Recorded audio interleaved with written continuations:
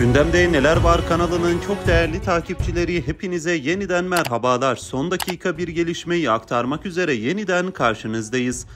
Değerli takipçilerimiz unutulmasına izin vermeyeceğiz dedi. Erdoğan'dan İsrail'e sert tepki geldi. Kıymetli izleyenler Cumhurbaşkanımız Recep Tayyip Erdoğan, İsrail'in mevcudiyetini kabul ettiği nükleer silahlar meselesinin unutulmasına izin vermeyeceğiz. İsrail'in atom bombası var mı? Var ama sorarsan yok diyorlar diyerek İsrail'e tepki gösterdi. Kıymetli izleyenler, Cumhurbaşkanı Erdoğan İSEDAK 39. Bakanlar Oturumu açılış programına katıldı. Sayın Bakanlar, Sayın Genel Sekreter, aziz kardeşlerim sizleri en kalbi duygularımla selamlıyorum diyerek sözlerine başladı.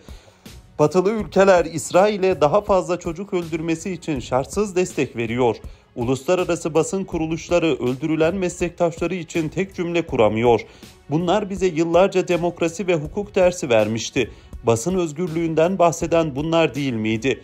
Şatafatlı ideolojileri, beyannameleri, ilkeleri yerle yeksan olmuştur. Bunca masumun ölümünü Hamas bahanesiyle geçiştirmeye çalışanların insanlığa söyleyecekleri bir şey kalmamıştır. Gazze küresel sistem açısından bir turnusol kağıdı işlevi gördü. Şahit olduklarımız batılı demokrasilerden küresel şirketlere birçok yapının gerçek yüzünü bizlere gösterdiği ifadelerini kullandı. Birleşmiş Milletler kurumsal olarak Gazze imtihanından başarısız çıktı. Birleşmiş Milletler Genel Kurulu'nda 121 evet oyuyla kabul edilen karar kıymetli adımdı. Akan kanın durmasında tesirli olamadı. Bu tablo bile 2 milyarlık Müslüman alemi olarak nasıl bir cenderiye sıkıştığımızı gösteriyor. Bir tarafta kan akmasın diyen 121 ülke, diğer tarafta İsrail'e açık çek veren 3-5 ülke var. Böyle bir yapının ne barışı getirmesi ne de insanlığa umut getirmesi mümkün değil.